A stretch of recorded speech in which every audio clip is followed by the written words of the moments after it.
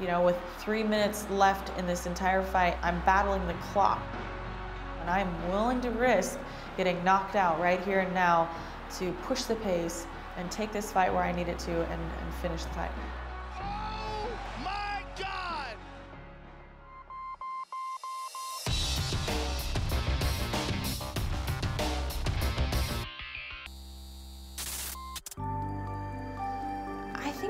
Sometimes I just realize it's fight or flight, and the option is always fight. And going into the fight with Marloes Coenen, uh, I was kind of um, a little intimidating because I remember watching her fight Cyborg and giving Cyborg a good run for her money. And I thought, man, lucky that girl fights at 145 because I definitely don't ever want to have to fight that girl. And then she dropped to 135 and a couple years passed and before you knew it, I was up on that upper echelon also. And, and it was kind of like you, they say you want to train until your, your icons become your rivals. And in that case, that was, that was the pinnacle of the sport. It was a Strikeforce world title. It's where the best women in the whole world were. And she was the title holder and I was fighting her and uh, yeah, it was a little bit intimidating, but I, I believed in myself. I believed that I could do it. And I actually tore my MCL completely probably three and a half or four weeks before the fight. And everyone was like, you're crazy, you can't do that, you can't fight with a torn MCL. And I was like, no, no, no. I was like, you don't understand it. Like, I have it right here. Like, I already know that I've won this fight and I'm gonna do it with or without the torn MCL. I locked in the submission. It was a little, little bit more of an unorthodox submission. I had her in a head and arm triangle choke, and I hopped over to the correct side, and I just started putting a massive amount of pressure on that. And I heard her wheezing, and I heard the breath struggling to for her to take in that breath. And pretty soon she, she actually stopped breathing. I heard the, the, as I squeezed more and I got tighter and tighter like a boa constrictor around her neck. Like pretty soon she wasn't able to breathe at all. And I had a feeling that the tap was coming soon. And that was a crazy emotion. That was, you know, again, a big whirlwind that I just defeated my idol essentially.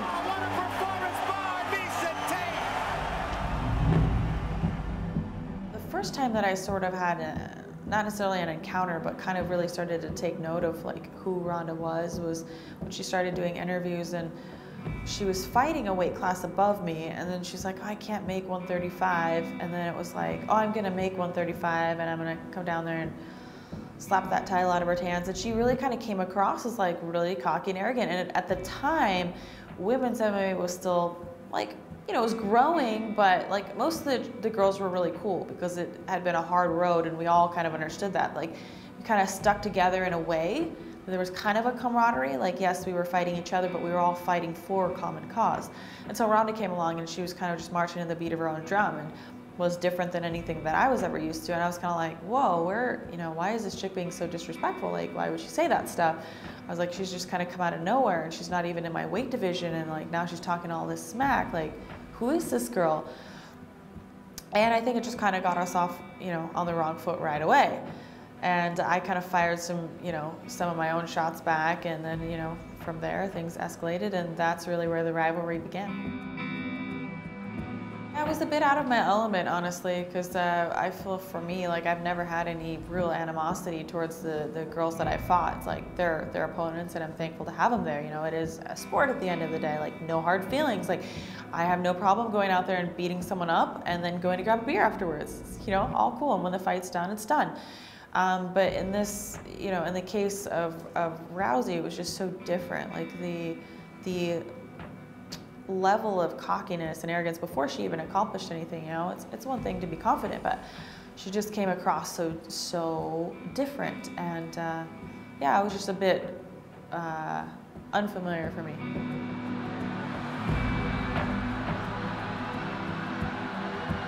I was definitely more emotional that day than, than normal.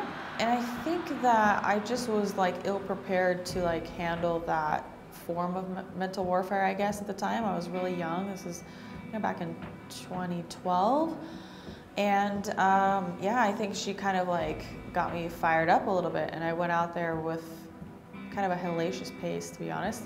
Kind of went guns blazing, and I cost myself the fight, putting myself into like putting myself into a bad position. And uh, you know, she got the armbar, and then I was like, I just refused to tap. I just let it completely go because I'm a pretty stubborn person. Is the new Women's Bantamweight Champion. It's absolutely heartbreaking. It's gut wrenching. It's like you feel like someone has, I don't know, it's, it's like almost as bad as a feeling as like someone stole your child from you or something. Like it's just a disgusting, disheartening feeling, and it's you're sick to your stomach over it, and you can't stop thinking about it, and and then what really came to my mind is like, what can I do to change that? What can I do to better myself from this, and like to make sure something like that doesn't happen again? Because this is an awful, awful feeling, and I'm like, I gotta heal up, I gotta get back in there, and I gotta fight as soon as I possibly can. I mean, Dana saying that we were never to fight for the UFC definitely pissed me off. It was like, really, who are you, like, to say that, you know? And of course, yeah, he's the president of the UFC, obviously. But like, in my mind, I still was like, that's not cool. That's not okay. And like, I, I had a chip on my shoulder. I wanted to, I wanted to prove him wrong. I, I, I had made a goal out of kind of making him eat his own words, you know? And I was like, yeah, well, you haven't seen me fight yet. Wait till you watch me fight. You don't want to have me fight for your organization. I can, I can prove that. No, the pre-fight jitters weren't anything crazy. I was very excited for that opportunity. I felt like I was well prepared, but I think I just went out and was a little bit with with having less experience than I do now, a little bit overzealous. I just went out there and you know for the first two rounds, I pretty much dominated the fight. And then I just got a little bit careless for a second in the third round. And, you know, Cat Zingano was a college wrestler. You know, on paper, she's a better wrestler than, than I am, technically. Um, you know, I don't feel that that's actually the case, but like if you look at it on paper, she's she's got a strong wrestling background. So when she took me down, like you know, she wore on me you know, she's got a comeback fighting kind of style too. And I got kneed in the nose and I was like, hey, I'm still in it. I'm still fighting. I, tried to take a shot and the referee stopped the fight and I completely disagree with that stoppage. You know, I, I always will. How much more can Miesha take? Take an elbow and that'll do it. Again, another really tough moment in my career. Very gut wrenching, very heartbreaking because it's like, you know, I've been busting my butt to like prove to the UFC like women deserve to be in the UFC. Here's my first opportunity to showcase it, and uh, you know I didn't walk away with the win. So that was a very another very hard moment. I want to be the champion, and if that is not an opportunity that will be afforded to me, no matter how many people I beat, then what am I doing this for?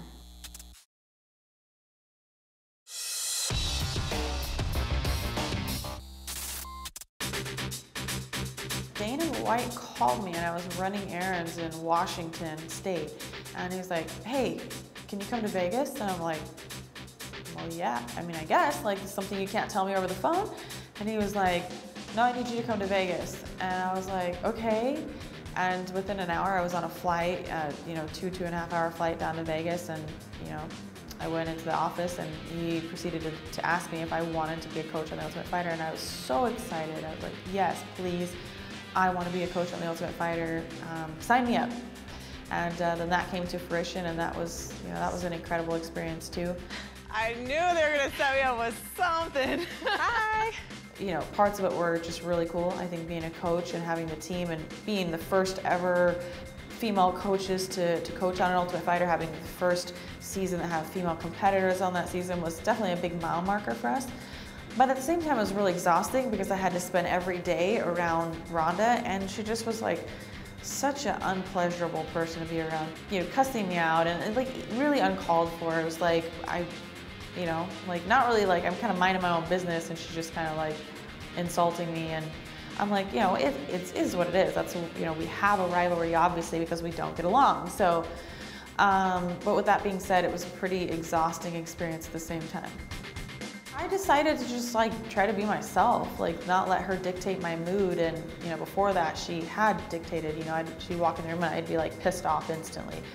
And then I was like, you know, I'm just gonna like, I'm gonna stay true to myself. I'm gonna keep smiling. I'm gonna be who I want to be. But at the end of the day, it was a really long lead up and a really long, drug out um, lead up to that fight. I think by the time the fight rolled around, I felt a bit flat because I had been, you know, suppressing any of those emotions, you know, and I think I can do a, a lot better than I did in that fight. I want you guys to do a clean fight, follow my orders at all times, defend yourself at all times. Touch gloves and let's do this. no, not a chance. They swing in the middle of the octagon early.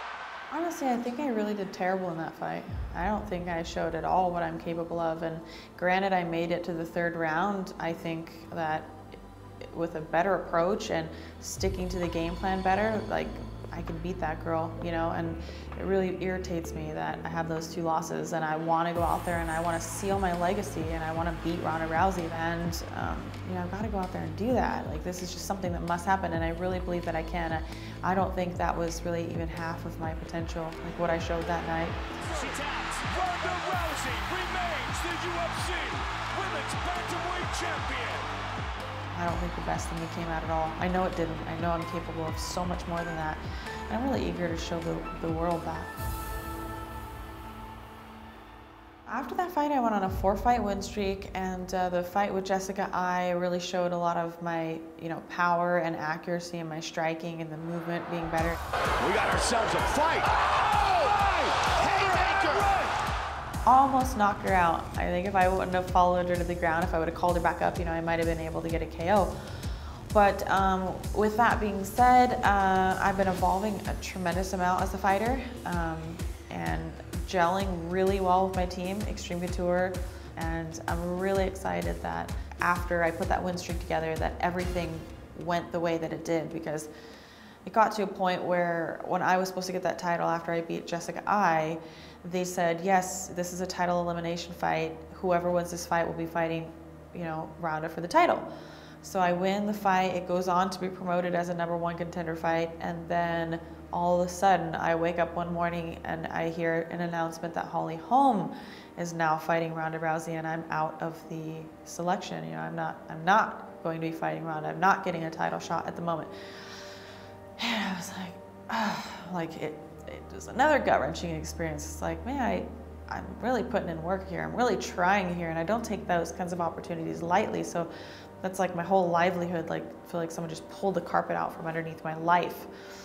And I um, wasn't very happy in that moment. And in the heat of the moment, I'm like, well, maybe I, maybe this is like my sign that I just need to walk away from this sport. Like, not because I feel like I'm not capable, not because I can't, not because I'm physically unable, not because I don't have a desire to fight, but because I want to be the champion. And if that is not an opportunity that will be afforded to me, no matter how many people I beat, then what am I doing this for? You know, my passion and my drive is to be the best in the world. And I got really frustrated in that moment.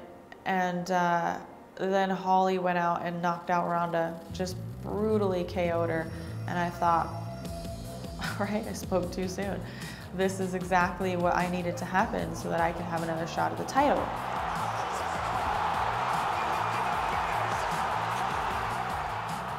My manager was the one to call me, Josh Jones, and he called me and I said, are you sitting down?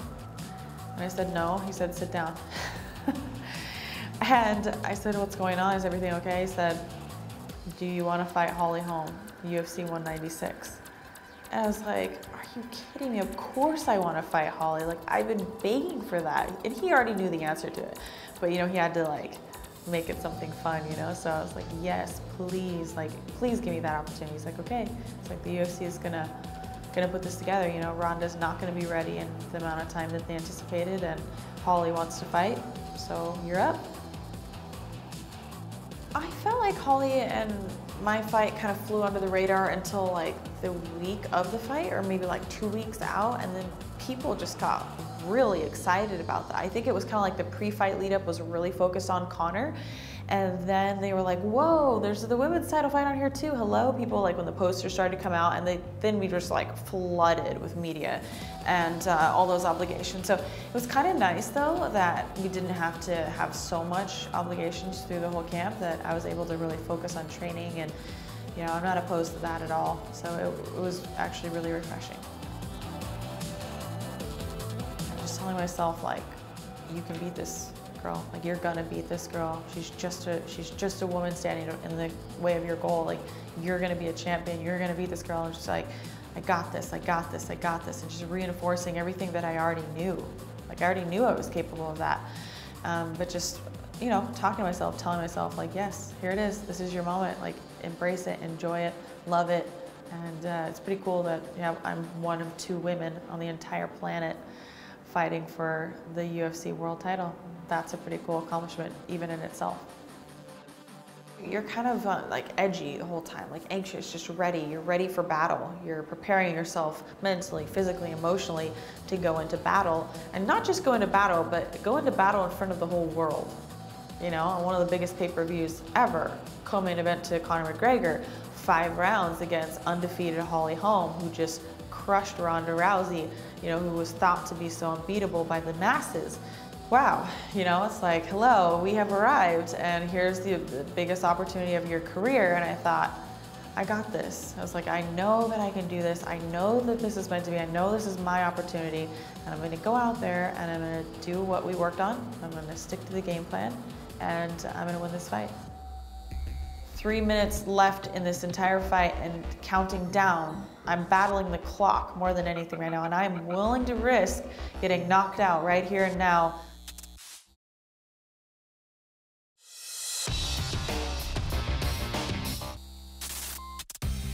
I want you to fight hard to fight clean. If you want to touch gloves, touch them down.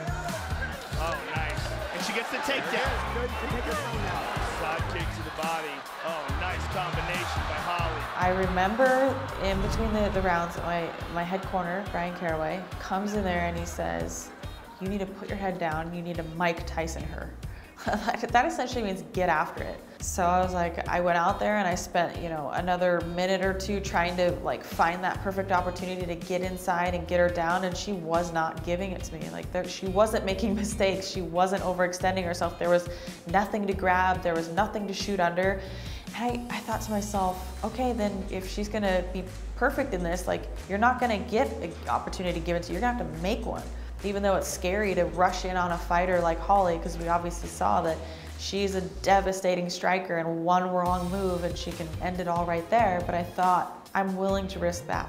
You know, with three minutes left in this entire fight and counting down, I'm battling the clock more than anything right now. And I'm willing to risk getting knocked out right here and now to push the pace and take this fight where I need it to and, and finish the fight. There it is. There it is.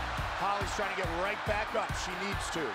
I was putting a lot of pressure on her, and I knew she was going to have to make some sort of mistake, some sort of error to get up from underneath that pressure. And I saw her neck get exposed, and I grabbed it and I sunk it in, and I put my hand over my chin, and I was like, "This is in. Like there, there is no getting out of this." And I was like, "I don't care what she does. I don't care if I have no hooks in, no, nothing." I was like, "This is in." and the time began to slow down in my mind. It was like I, we were fighting in water or mud, and it was just like slow. And she's like flipping me over, and I'm like, man, when is this girl gonna tap out? He's like, I know I have this. He's like, please tell me she can't breathe through her ears or something crazy, you know? I was like, uh, when is she gonna tap? But the, she didn't tap. That's the crazy part. She hung on until she literally went to sleep. So she passed out. And then I have. Um, Big John McCarthy ripping me off of her, like, let go. She's she's asleep. She's out. She's tapping. She's out. Miesha Tate is the new UFC Women's Bantamweight Champion. My God. That very moment, it's just like you just everything comes out, and you're like, whoa, like I can't believe this is actually it actually happened. Like I actually did it. Like I am a world champion. I've done it against all odds, you know, coming in as the underdog and you know, many people not believing that I could do it, coming in, you know, potentially down on the scorecards in the fifth round, knowing that's what I had to do and being able to do it was a very exhilarating feeling. It was just such an overwhelming feeling. I just, I couldn't, like, all I could say was thank you. I was like, thank you, thank you, thank you. I was just like, in that moment, I was like so excited and so happy. I, I don't think you could have wiped the smile off of my face. Like it was like perma smile, uh, Cheshire cat grin. You know, I was ear to ear. I was happy, and uh, I felt really fulfilled.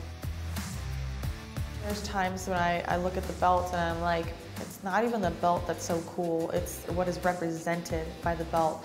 You know, I always believed that I would be a UFC champion, and I always believed I was capable of it. But I wanted to prove it to the rest of the world and having that strap to carry around with me and, and to to represent all that hard work that's like proving it to the rest of the world So all the naysayers and all the doubts, you know, doubters now, it's like, yeah, well, look at me now. Like I, I have captured this belt and this belt means all the hard work and all the years and the blood, sweat, and tears that went into this. That's what this means. That's what that belt means.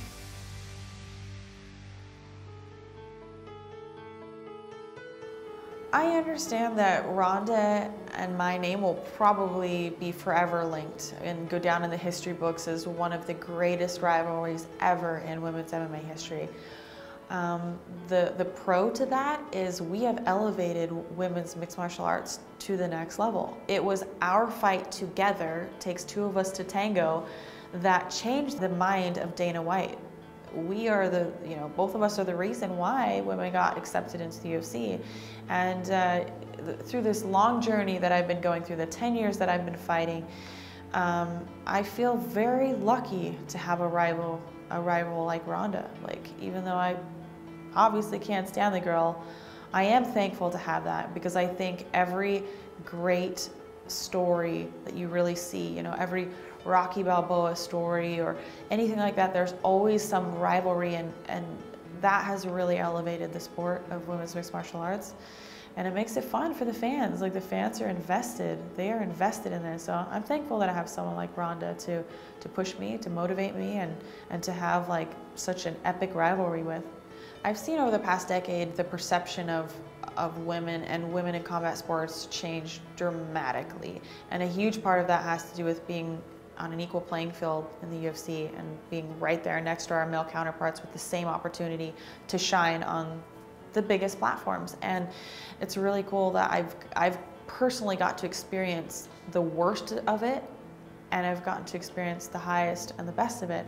And um, I am really, really honored and proud to be able to say that, you know, I had a piece, I had a part to do with that perception change of the general public and the way that they view women and what we're capable of.